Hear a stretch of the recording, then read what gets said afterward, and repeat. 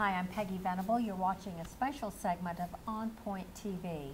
Today I'm joined by a, a renowned science author, Janice Van Cleave. We're talking about a controversial new program in Texas public schools, in many Texas public schools, called C-SCOPE. Is it C-SCOPE or is it C-SCAM? This is a lesson plan that many teachers are concerned about, but so are parents and taxpayers a tremendous amount of money is being spent on this, and we really want to delve into whether or not this program is working. Janice Van Cleave, thank you for joining us. My what do you know about, or what are your concerns about C-SCOPE?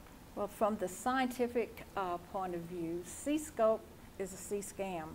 Uh, the lessons in science, starting from kinder through 12th, I don't know whether they just didn't get somebody that uh, was uh, maybe familiar, especially with the elementary lessons. They are so un, just disjointed is what they are. They, uh, they don't connect. Uh, they and the children are actually. Um, I'm saying that they probably have fun, but now I promote that children have fun and play as they find out about science. With C-SCOPE, they're having fun and they're playing, but they don't know what they're doing at the end of the day. They don't know that uh, the things that they're doing, they, they don't understand the concepts behind the play that they're doing. And sometimes the answers that the teachers are given to tell them what is going on are incorrect. Wow. And but then they just keep on doing this. You know, they just keep when I say keep on doing this, those incorrect answers, say from third grade, they do keep on saying the wrong answers. I mean, they just kind of keep it going. But uh, no, I do not think that um, C-SCOPE, and you haven't asked this, but I wanted to tell you that I don't think C-SCOPE is fixable.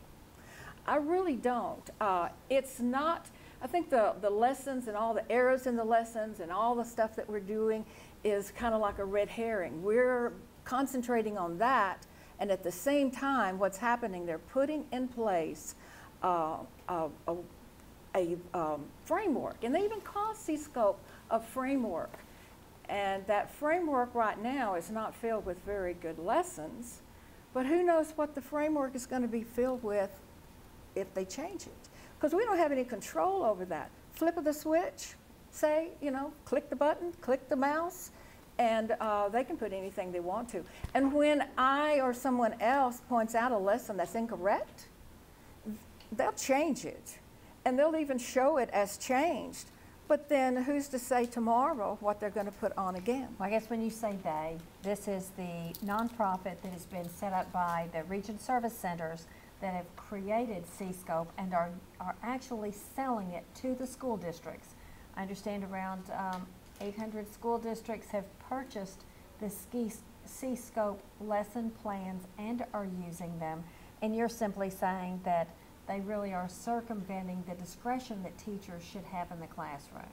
Uh, Teachers don't have a whole lot of control, well, in some schools a little more than others. But in most of the C-SCOPE schools, if they're, quote, implementing it correctly, this, the teachers have very little control. They're on a very your timeline. If you have five days for uh, a topic to be presented, if your children uh, take three, four days, too bad. They have to wait another day. Or if they haven't fully comprehended Sure. or succeeded in um, uh, grasping what they were being taught, they're still supposed to move on. And just in, in, in, in saying, uh, extending that, uh, when you asked the C-SCOPE directors about that, like, well, if my children don't understand, why can't I take a few more days? They'll catch up. They said, they'll catch up. No, they don't catch up. You talk about being left behind. Well, we just we- drag them on to the next session. So every child left behind is really the motto, it seems like, for C-SCOPE. Uh, you've been watching a special edition of On Point TV. Thank you for joining us. We're talking about C-SCOPE. To get more information, you can go to redappleproject.com or TX C-SCOPE Review. Thanks for joining us. I forgot